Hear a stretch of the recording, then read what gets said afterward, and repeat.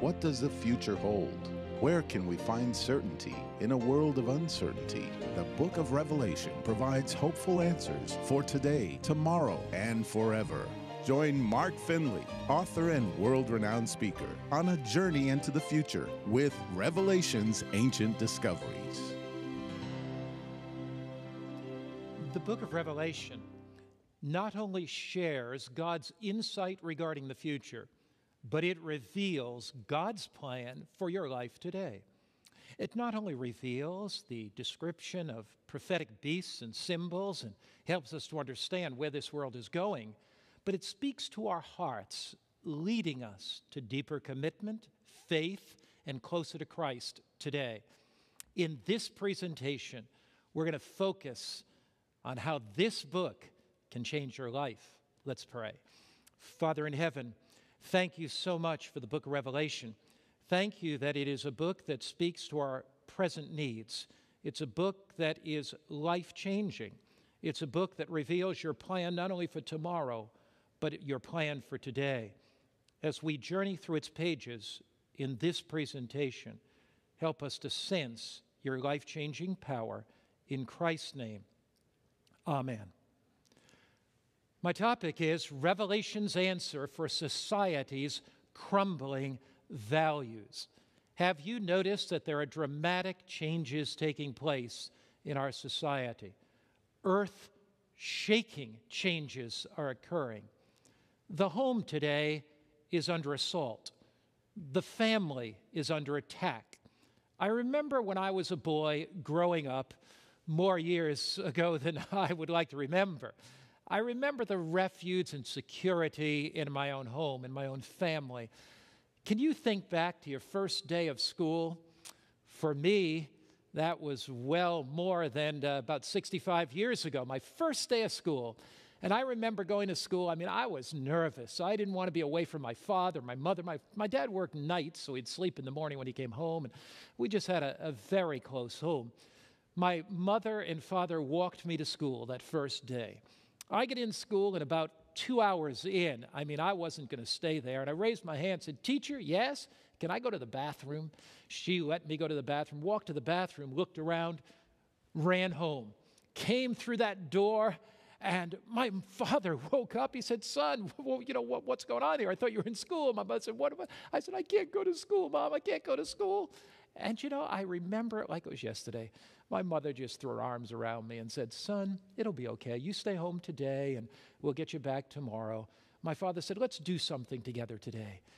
You know, I had a home. There was a place of refuge, a home that was security. And that's what home is all about.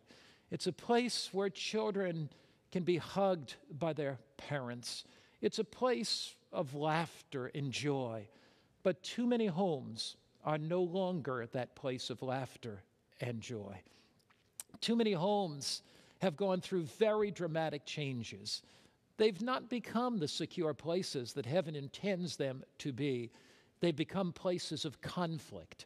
They've become places of strife. And today, homes are no longer places of refuge. They are places that have been invaded by the enemy, places that have been attacked by the attacker.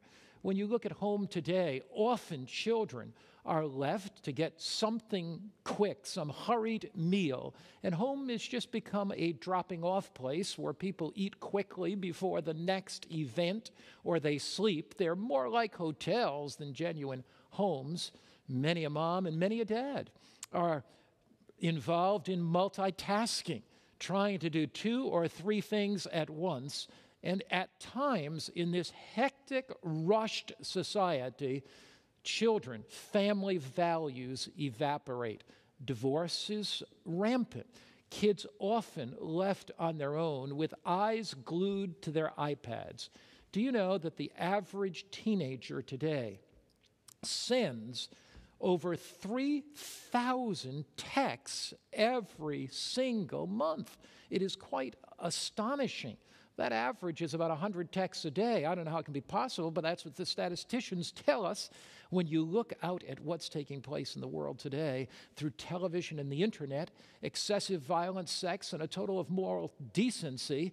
and morality have invaded our homes. Our homes are being invaded, our homes are being attacked. Divorce, commonplace. Violence, murder, immorality through the internet and through television, iPads invading our homes. Many a kid is glued to the TV screen while their parents are out and away from the home. Today, the question becomes how can you be moral in, in an immoral world? How can you preserve decency? How can you have honesty and integrity and ethics? How can you have purity? How can you have kindness and love in a very violent world? In a world of competing values, how can you protect your home, your family, and your own life and your own mind? You know, the average 18 year old has witnessed 200,000 violent acts on television and movies, including 40,000 murders.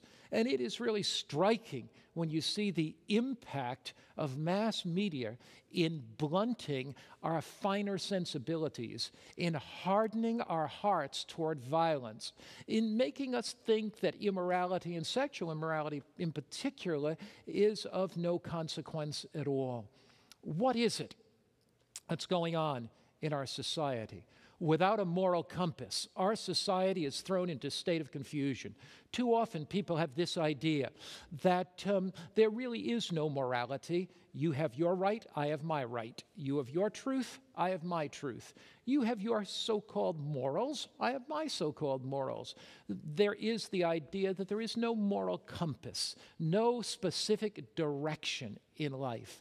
The Bible makes it plain, though, in Proverbs 28, verse 26. It says, He who trusts in his own heart is a fool. Here is precisely the problem with our society. Men and women have thrown out the moral compass that God has given them, they've thrown out God's law.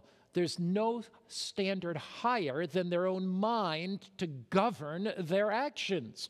There's nothing more than their own heart to give them a sense of what's right and wrong. But the Bible says, Jeremiah 17, verse 9, the heart is deceitful above all things and desperately wicked. So one cannot trust a fallen nature to lead that individual into paths of righteousness or morality. The scripture goes on to say in Hosea chapter 8, verse 7, they sow the wind and they reap the whirlwind. We've sown the wind of violence on television, and we are reaping the whirlwind of violence in our society. We've sown the wind of immorality and sexual adultery and impurity on television, and we are reaping that whirlwind of gonorrhea and syphilis and sexually transmitted diseases and broken homes in our society. As Scripture says, he that trusts his own heart is a fool. As Scripture says, we've sown the wind and we're reaping the whirlwind. We've sown the wind in what's happening in our society. Crime becomes commonplace. When a child looks at television and sees 200,000 violent acts, it's easy for them to become desensitized toward violence and simply go out and commit those heinous violent acts themselves. How do you protect moral values in an immoral world? Is there a moral compass to guide us by? Is there some North Star to guide us by? Ships lost at sea at night are guided often by a star the North Star. Where is that North Star to guide us today? Let's go back to the book of Revelation. It's the revelation of Jesus Christ, and Jesus has a moral compass for us. Jesus has a North Star to guide us by. Revelation 14, verse 6, we're studying this message in the heart of the book of Revelation. Then I saw another angel flying in the middle of heaven having the everlasting gospel to preach to those who dwell on the earth. This gospel is to go to every nation, tribe, tongue, and people, saying, Fear God, that is, obey God, and give glory to Him. For the hour of His judgment has come, and worship Him who made heaven, earth, the sea, and the springs of waters. Now, notice it says, The hour of God's judgment has come. Judgment implies moral responsibility. Judgment says you're responsible. Fear God. That's obey God, the scripture says. Give him glory. Why? Why do we obey God? Because we are morally responsible for the actions that we have in the light of the judgment. The judgment calls us to accountability.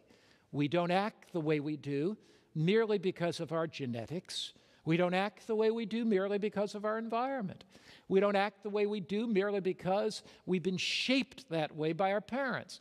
We act the way we do because of our choices. You know, too many people try to make many excuses. You know, I, I know I have a problem with alcohol, but my father had a problem with alcohol, my grandfather had a problem with alcohol. Certainly, genetics and environment plays a part in the way we act. But we can choose. We can choose to reach out to Christ and through his power make a difference in our lives. We are the arbiters of our own destiny. Somebody says, I'm involved in drugs, but you should see my neighborhood. It's so poverty stricken, and I've been influenced. You can be influenced by the power of Jesus Christ. You see, that's what judgment is all about. Judgment says you can choose, judgment says you're responsible for your actions, judgment says you are the arbiter of your destiny. Somebody says, Well, uh, sure, I've been in and out of prison, but my environment, my neighborhood. There's something beyond your neighborhood. It is your choice. The society we live in is a society that largely says you are not responsible for your actions. Nobody is responsible for what they do according to the popular mores of society. In fact, that's part of the evolutionary hypothesis. The evolutionary hypothesis says we are simply in large protein molecules. We're advanced animals, and we've been shaped by our environment to behave the way we do. It's called behaviorism in uh, psychological thought. But the good news is that God has given us the capacity to choose. The good news is that God has given us the freedom of choice. The good news is that we are not like little leaves blowing in the autumn breeze with every wind of societal trends. Judgment implies responsibility and it implies moral choices. Now, God's law is the basis of all morality, it's the standard of all judgment. Is there some moral compass to guide our lives by? There is. Is there some ethical standard to direct our lives? There is. It is God's law. God's law wasn't simply written for a bygone generation. It wasn't written for a group of what some people called nomad Jewish tribes.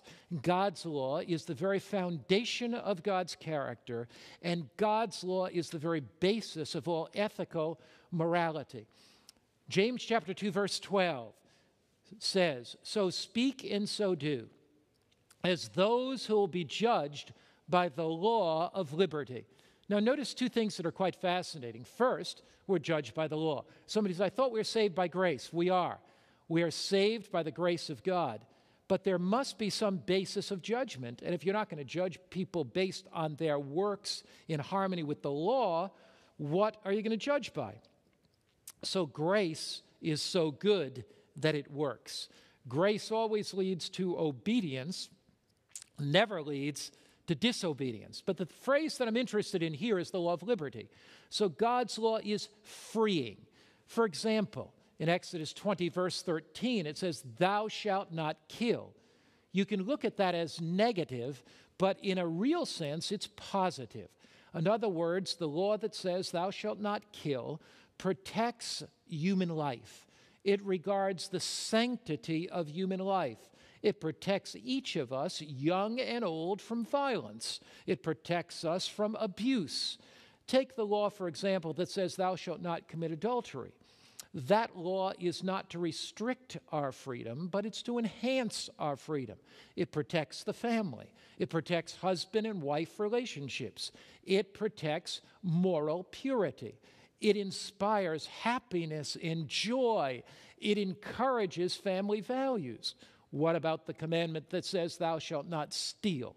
What if there were no commandment that says, Thou shalt not steal? That would mean that anything you had in society, somebody else could take. society would be in chaos if you just didn't have these three of the Ten Commandments Thou shalt not kill, thou shalt not commit adultery, thou shalt not steal. You see, human laws are often based on the divine law of God. And the very foundation of God's government and the very foundation of all moral society is based on the principles of the Ten Commandments. Without the Ten Commandments, there would be absolutely chaos in society robbery and immorality and stealing and uh, murder would be much more common than they are today. The book of Revelation points us to the very throne of God, and it says, Revelation 11, verse 19, then the temple of God was opened in heaven, and the ark of his covenant was seen in his temple. So John says, I looked up into heaven, and there in heaven I saw the ark of the covenant. And what was in that ark of the covenant in the earthly sanctuary?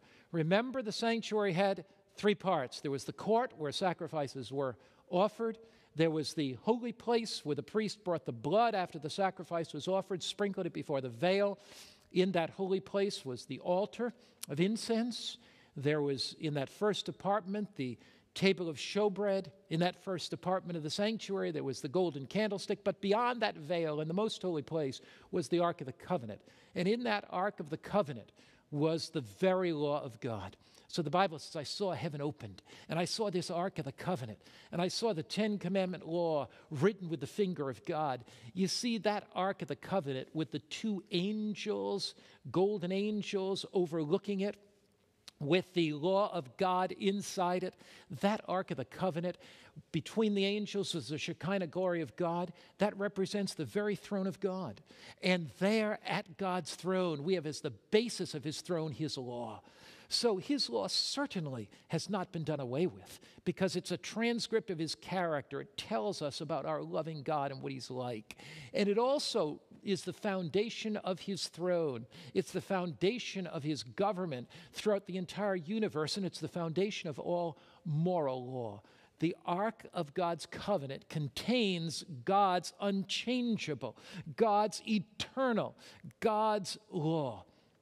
God's law is the very foundation of his very throne. Now, judgment and law are part of the gospel. If you do away with the law of God, you then say there is no moral responsibility, so there is no judgment. So, law and judgment are really part of the gospel because if there is no law, then there can't be any sin. And if there's no sin, there's no accountability. And if there's no judgment and no law, then why would you need a Savior? Why would you need the gospel? Here in 1 John 3, verse 4, the Bible puts it this way Whoever commits sin also commits lawlessness, for sin is lawlessness. Now, sin is not what you and I think it is. I mean, in other words, sin is not something that we define, it's something that God defines. A person says, Well, you know, I, I don't have a good marriage relationship, so I'm kind of running around with somebody else, my secretary, a working associate, somebody I met at a party, but, but God understands I don't have a good marriage relationship, so that's okay, and I don't think it's sin. Look, my friend, whether you think it's sin or not doesn't make any difference. Sin is breaking God's law, and one of God's laws says, Thou shalt not commit adultery. I've had young people that have wondered, Well, can I have relations with my girlfriend? We're going to get married someday, and, and I can have relations outside of marriage, but I don't think that's wrong. Is it, Pastor? It is. Sin is not how you define it, sin is how God defines it. Somebody said, Well, you know what? I'm I just occasionally maybe um, uh, cheat on my income taxes. And you know occasionally i may may take something out of a store. You know i bought three sweaters but i slipped another jumper another sweater in there. Is that sin? Because think of how much those store owners make. You don't define sin. God does if you steal, that's sin. Dishonoring your parents, that's sin. Sin is defined not by human beings, not by our mind, but by God Himself. Sin, according to the Bible, is breaking God's law. Sin is turning our backs on the moral principles of the universe. God's law is His eternal moral standard, which defines sin and establishes our accountability to God. So, the law of God is not some legalistic requirement to restrict our freedom, it is rather given by a loving God. the book of Revelation opens its pages and shares with us that God still has a standard. And wise parents direct their children to the living Word of God, to the law of God as the code of conduct. Grace always enables us to keep and obey God's law. God's law is the pathway to freedom, it is the pathway to genuine happiness. Openly, knowingly violating God's law is the pathway to disaster, not the pathway to happiness. Now, love always leads to obedience. Love never leads to disobedience. I've had people say, well, all you have to do is love. And if you just love God, uh, He requires nothing else. Does that imply that you love Him and you don't have to obey Him? What if a little child said, Oh, mommy, I love you. Mommy, I love you. Daddy, I love you. Would you take out the trash, son? Would you pick up your room, son? Oh, mommy or daddy, I love you, but I don't think I love you that much. You see, love always is manifest in action. Love is never some silly sentimental thing that we can't define. Love always reveals itself in the way we act. That's why Jesus said, John 14, verse 15, if you love me, do what? Do what? Keep my commandments. Jesus did not say, if you love me, you don't have to keep my commandments. Jesus didn't say, if you love me, don't worry about my commandments. Jesus said, if you love me, do what? Do what, everybody? If you love me, keep my commandments. Love naturally leads to obedience. No, I obey God, not in order to be saved, not in order to earn his love, but I obey God because I am saved and because I have been loved. So when I'm saved by Christ, that leads me naturally to obey Christ. When I'm loved by Christ, that naturally leads me to respond to Christ in love. 1 John chapter 2 verse 3 and 4 puts it this way, now by this we know that we know him. Now what's the evidence that we know Christ? What's the evidence that He's living in our heart? If we keep His commandments. So the keeping of the commandments of God is evidence par excellence that we have committed our lives to Christ and we genuinely love Him. Now, notice what the Bible says. Now, notice I didn't say this. These are not my words, these are the Bible's words. He who says, I know him. So this person says, I, I know Christ. I love Christ. He who says, I know him and does not keep his commands is a what? What does it say? Is a what? Is a liar, and the truth is where? Is it in him? And the truth is not in him. In other words, if I say I love Christ, and all I want to do is follow Christ, but yet I don't live an obedient, godly life, if my life does not reflect my love, then that love is not genuine at all. Now, grace and law are not contradictory ideas. There are some people that have the idea that law is an Old Testament idea and grace is a New Testament idea. They have the mistaken idea that people in the Old Testament are saved by law and people in the New Testament are saved by grace. Someday when we get up in heaven, am I going to see Moses up there and Daniel up there and Jeremiah and Isaiah from the Old Testament and say, hey, guys, how were you guys saved? Moses says, I was saved by the law. Daniel says, I was saved by the law. And I see Paul and James and John. How were you saved by grace? Are we going to have two methods of salvation in heaven? Not at all. Moses was saved by grace. The Bible says, Titus 2, verse 12 and 14, the grace of God that brings salvation appears to all men. So Moses was saved by grace. And Jeremiah was saved by grace, and Paul and James and John were saved by grace. Do you say, how could the Old Testament people be saved by grace? Christ hadn't come. Every sacrifice they offered looked forward in anticipation to the Christ that was to come. So their faith reached forward to the cross. Our faith reaches backward to the cross. But it's the same faith that we exercise that Abraham exercised. The Bible says Abraham was saved by faith. So they exercised faith to receive grace. We exercise faith to receive grace. Grace and law are not contradictory ideas.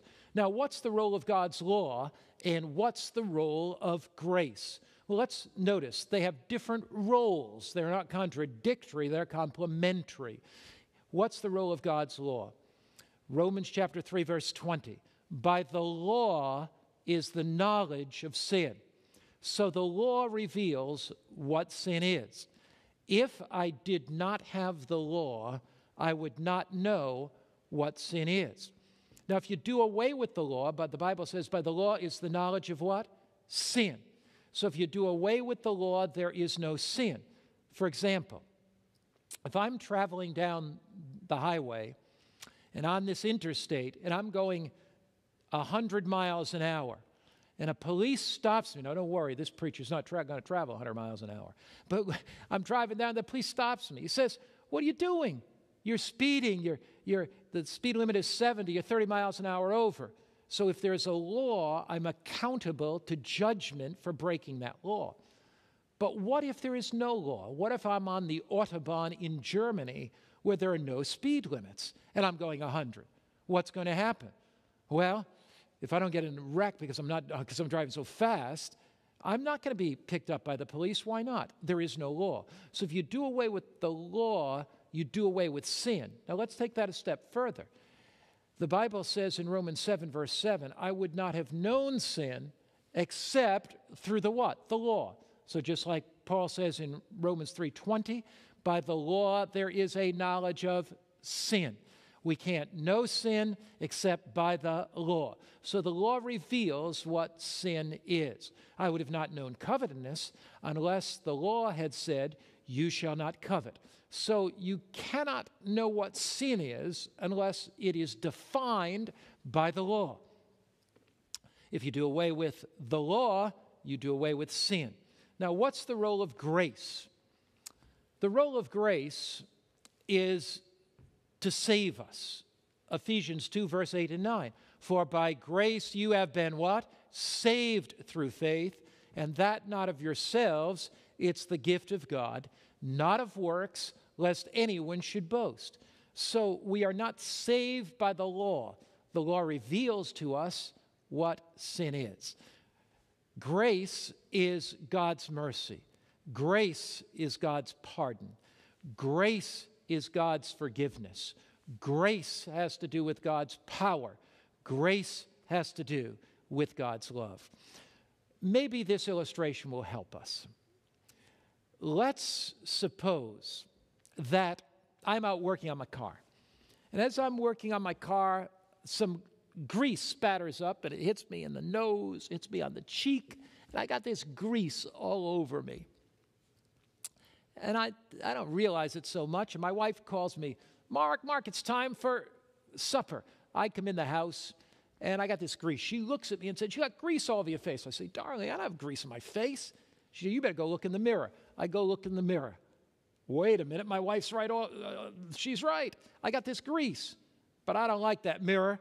I'm going to do away with it. I'm going to smash it. Does smashing the mirror take the grace, take the, the oil off my face? Does smashing the mirror take the oil off my face? No, you say. That's craziness. It just reveals what's there all the time. That's the function of the law. It reveals what's there all the time. But what I need, I need soap. I need soap to cleanse this dirty face of mine. What is the role of grace? Grace is God's mercy and pardon that washes me clean and empowers me to live a new life. Does grace do away with God's law? Romans 3, verse 31 puts it this way Do we then make void the law through faith? What does Paul say? Certainly not. On the contrary, we establish the law. Anybody that says faith or grace does away with the law of God, disagrees with the Apostle Paul. Because what does Paul say? Do we then make void the law? That is, do we do away with the law through faith? What does he say? Certainly not. Does that seem tenuous? Not at all. Paul's very clear. He says, We establish the law.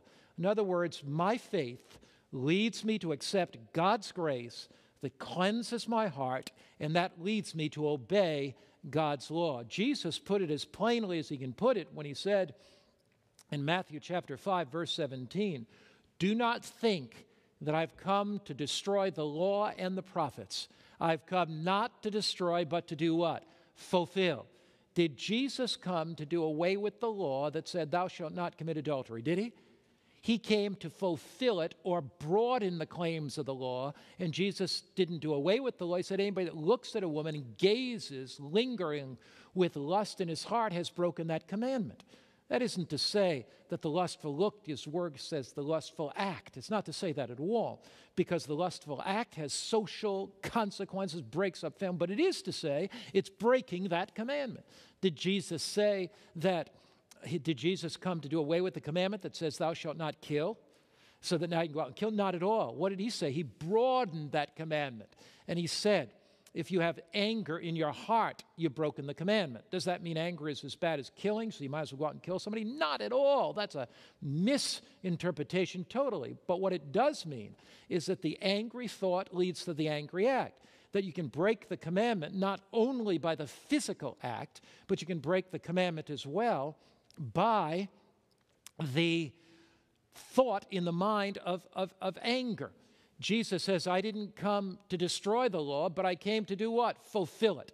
Jesus is saying, I've come to fulfill the law full of meaning. I've come to fulfill it full of purpose. He fills it full of purpose by giving us a pure mind and taking away adulterous thoughts. He fills it full of purpose by taking anger out of our heart and helping us have lives of gentleness and kindness. Jesus puts it very plain when he says in Romans 6, verse 14, For sin shall not have dominion over you. You are not under law, but under grace. Somebody says, that, That's it right there. Uh, uh, we're not under the law, Pastor Mark. We're under grace. That means we don't have to keep the law. Is that what the text says? The text doesn't say that. Let's look at the text carefully. Sin won't have dominion over you. When does sin have dominion over you? What is sin? It's lawlessness. So sin has dominion over you when you are breaking God's law. Notice it says you're not under law, but under grace. Now just look at the text.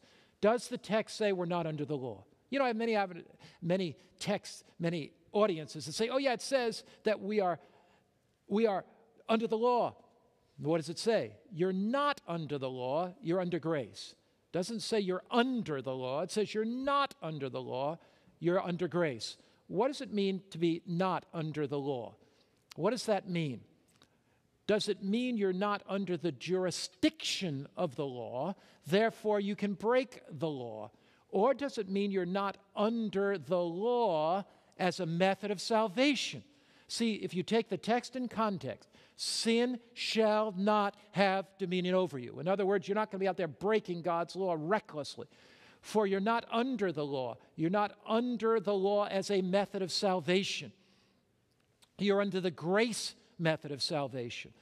And when you are under the grace method of salvation, you are cleansed and pardoned by that grace. That dynamic grace enters into your life and leads you to a life of obedience. Sin shall not have dominion over you. You're not under the law, but under grace. What does it mean to be under grace?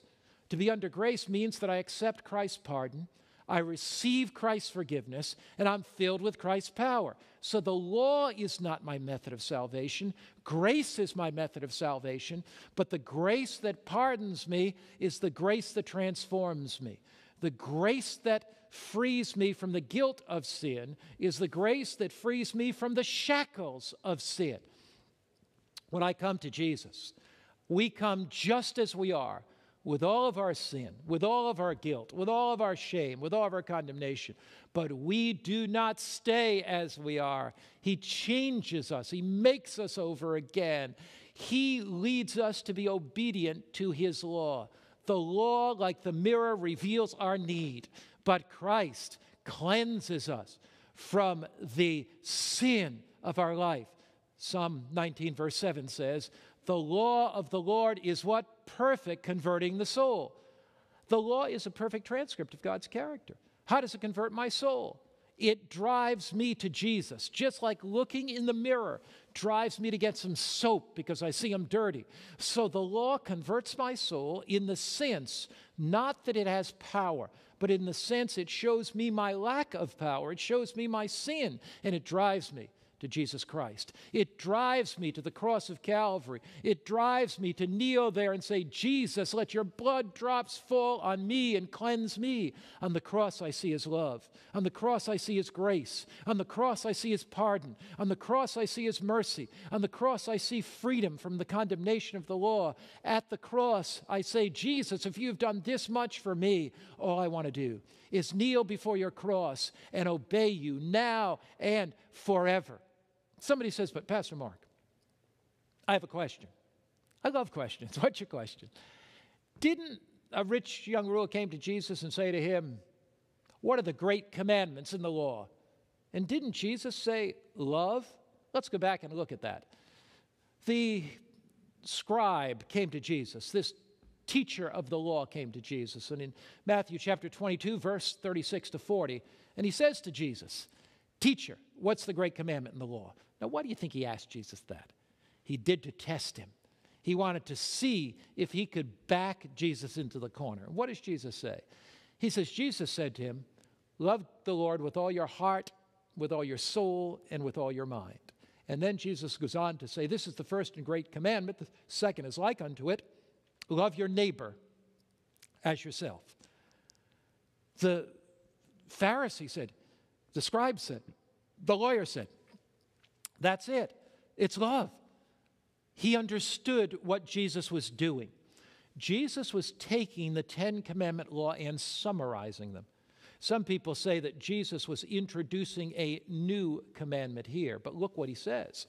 Next verse On these two commandments, that's loving God, loving your fellow man, hang all the law in the prophets. In other words, the entire Ten Commandment law can be summarized in these two phrases. The first four commandments can be summarized in loving God, the last six commandments can be summarized in loving your fellow man. The entire law can be summarized in one word love. In fact, Jesus was quoting from the Old Testament. Deuteronomy 6, verse 5 says, Love God with all your heart, soul, and mind. It's a summary of the Ten Commandments. Leviticus 19, 18 says, Love your neighbor as yourself. So when Jesus summarized the whole law, it's in one word love. When he breaks down the two tables of the law, it's love to God, the first four commandments, love to your fellow man, the next six. So the commandments are codified love. The commandments reveal what loving people do. Love, they love God and they love their fellow man. Loving people don't in any way want to steal from their neighbors. Loving people don't want any way to break the marriage tie and commit adultery. Loving children want to honor their parents. Loving people who love God don't want to have any other gods before them. Loving people don't want to take his name in vain. So the Ten Commandments reveal how loving people respond in given situations. The grace of Christ does not change the Ten Commandment law written by God's own finger on tables of stone. God did not write his law on parchment to be consumed. He didn't write it on sand to be washed away. He wrote it with his own finger on tables of stone. And if God wrote his finger on tables of stone, he wrote it permanently to last not only for a few years or a few generations, but to last forever. And God's Ten Commandment law is for people in every race, culture, creed, and background. God's Ten Commandment law is the moral code of conduct for every society.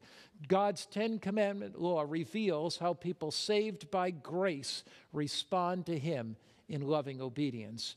You know, when you look at the Ten Commandment law itself, and you see its introduction, you see that the Ten Commandment law really was to give us freedom and not to keep us in bondage. Look what it says in Exodus 20, verse 2 I am the Lord your God who brought you out of the land of Egypt, out of the house of bondage. So they were coming out of bondage, and God gave them the law as an illustration of their freedom. But somebody says, Are the Ten Commandments relevant for us today? The Ten Commandments speak with relevance to your life and mine. They speak with purpose to your life and mine. The first commandment says, You shall have no other gods before me. In an age of false gods, in an age when sports stars become our gods, and so- singers become our gods, and entertainers become our gods, and the Hollywood icons become our gods, God says, You shall have no other gods before me. This commandment speaks with relevance in our generation at a time when men and women make graven images are their material possessions. God says, Thou shalt not make unto thee any graven image. In other words, worship me directly. The first commandment says, Worship me exclusively. There's nobody like our God. Our God is an awesome God. The first commandment says, Have no other gods before me. Worship him directly, the, exclusively. The second commandment says, Thou shalt not make any other graven image. Worship him directly. Come directly to God. Third commandment says, Thou shalt not take the name of the Lord thy God in vain at a time when the name of Jesus, that lovely name, that magnificent name that's been dragged through the dust in vile epithets and in curse words, the Bible says, Thou shalt not take the name of the Lord thy God in vain. In other words, also, another way to break that commandment is to pretend you're a Christian, really not be one. In other words, don't live a hypocritical life. Live in harmony with Christ and His will and His commandments. The fourth commandment remember the Sabbath day to keep it holy. God says, Remember, most of the world is forgotten. Six days thou shalt labor and do all thy work, but the seventh day is the Sabbath of the Lord thy God. At a time when people are racing on, filled with stress and anxiety and worry, tension leading to coronary heart disease, God says, Come, come. The commandments are relevant. The Sabbath is relevant. God says, Come. Come and find rest and security in your Creator each Sabbath. At a time when parents are defying the commands of their parents, where children are defying the commands of their parents, at a time when children often turn their backs on rebellion and what their parents say means little. God says, honor your father and mother. At a time of beating and killing and bombs dropping, in a time of taking the life of the young unborn so indiscriminately, God says, Thou shalt not kill. The commandment speaks with relevance. Murder on television, violence in our society, terrorism, free abortions taking place indiscriminately. And God says, human life is sacred. And at a time of blatant, wanton sexual adultery, God calls us to purity. The commandments speak with relevance to this generation at a time when people think very little of stealing, very little of taking things from others that don't belong to them. God's word still speaks, Thou shalt not steal. In a time of criticism and gossip and lying about other people and destroying their reputations, the tabloid newspapers are full of it. What does it say in the scripture? Exodus 20 Thou shalt not bear false witness against thy neighbor. To destroy your neighbor's reputation is a serious offense against God. These commandments are relevant. Think if we only spoke good of others. Think if we never, never spoke critical words or lied, told half truths about others. Think of the positive human relationships that would take place. Think of the positive human relationships if we were filled with purity, filled with kindness, filled with love. You see, the Ten Commandment law leads us not to be selfish or jealous of what others have. Tenth Commandment, thou shalt not covet. What a society we would have if we worshiped God directly if we worship God exclusively, if His name were honored, if the Sabbath were kept and people felt restful and peaceful, what a society we would be in if children honored their parents and there was a strong family unit. What a society we would have if we respected the goods of others and we respected the lives of others and we protected the lives of others. What a society we would have if we if we maintain moral purity no divorce. Kindness and love reigns, and we're not coveting. God is calling us back, back to the keeping of His law. He's calling us from the majority, calling us from the crowd, calling us by His grace and through His power to live godly, obedient lives. The Bible says in Psalm 111, verse 7 to 9, the works of His hands are verity and justice. All his precepts are sure. Speaking of his commandments, they stand fast forever and ever. He has commanded his covenant forever down through the centuries, God's Ten Commandment law speaks with relevance to bring joy and happiness and meaning and purpose to his people. Satan lost heaven because of disobedience. He disobeyed God and lost heaven. Adam and Eve lost Eden because of disobedience. And many a man, many a woman will lose heaven again They'll lose the joy of that Edenic home in the future because of disobedience. God says, Here's God's desire for your heart, Here's God's desire for your life. Hebrews chapter 8, verse 10. This is the covenant that I'll make with the house of Israel after those days, says the Lord. What is the covenant? What is this new covenant? Is it to do away with God's law? Not at all. I will put my laws in their mind and write them on their hearts, and I will be their God, and they shall be my people. What is the new covenant promise? The new covenant promise is God's law in our mind so we know it, God's law in our heart so that we love it. We love God's law. Saved by grace, all we want to do is obey God's law. God will have a last day people who have His law written in their hearts, written in their minds. Where are God's last day people today, you say? How can I find God's last day people today? Revelation 14, verse 12. Here is the patience or the endurance of the saints, the believers. Here are those that keep the commandments of God and the faith of Jesus. Jesus has an end time. Jesus has a last day people. And he says, Here they are. They're saved by faith. The faith of Jesus lives in their heart. The faith of Jesus is a dynamic principle that changes their life, and they are led to live obedient lives. If you want to find God's end time people, find a people saved by grace. Find a people that are living by the faith of Jesus Christ in their hearts as a dynamic principle that leads them to keep God's law, that leads them to be obedient to God's commandments. Revelation chapter 22, verse 14 puts it this way Blessed I want to be blessed, don't you? How many want to be blessed? Blessed are those that do his commandments, that they may have right to the tree of life and enter in through the gates into the city, clothed with his righteousness, enrobed with his glory, immersed in his grace. They do his commandments according to the book of Revelation. Jesus reaches out to you. And Jesus says to you, my friend, come. Kneel before me. Confess anything not in harmony with my will.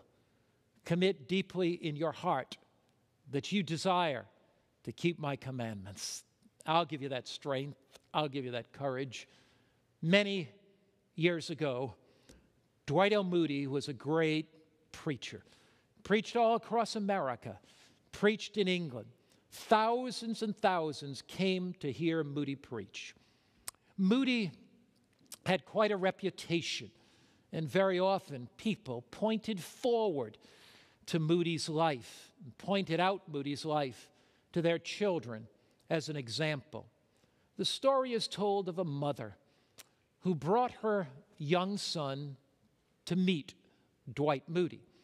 And as the boy came up, the mother smiled and said to Mr. Moody, Mr. Moody, this is my boy. I'll call him John. This is my boy, John. Mr. Moody, I'd love you to meet him. John, shake Mr. Moody's hand. And the boy clenched his fist and he put his hands behind his back.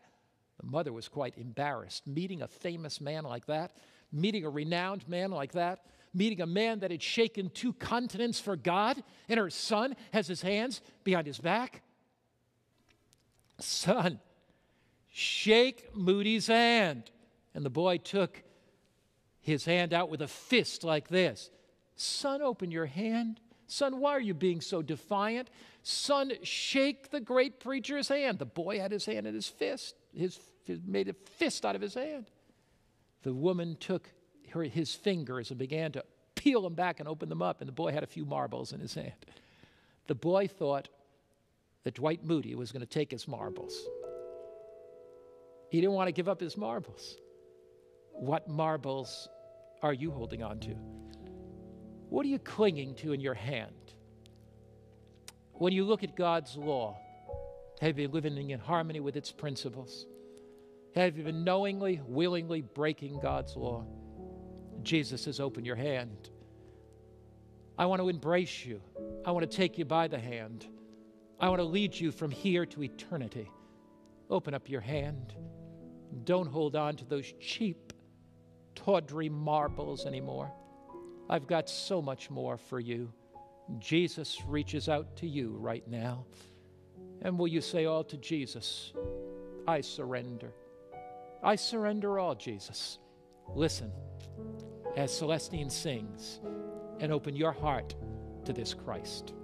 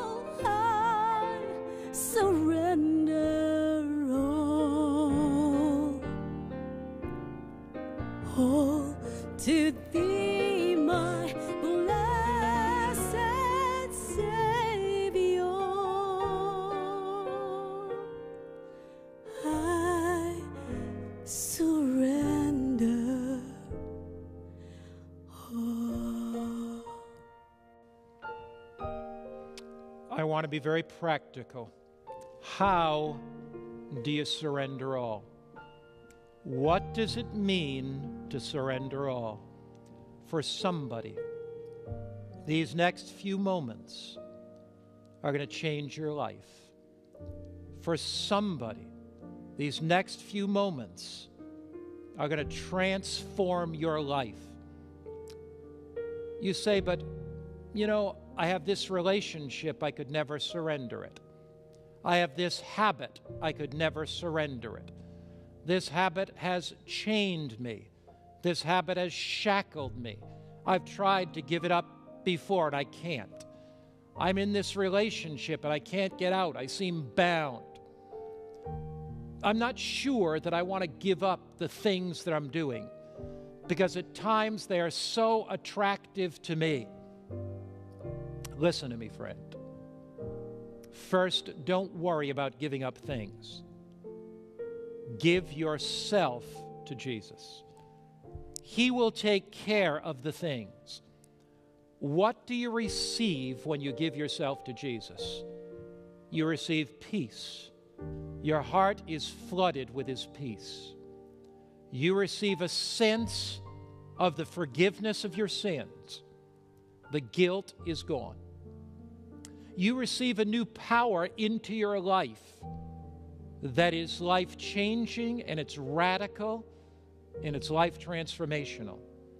You receive the new joy that there is purpose for your life, there's a plan for your life, and Christ has your best interest in view.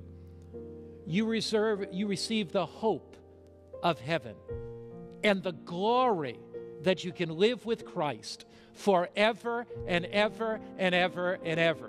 What do I give up? I give up a sin polluted heart.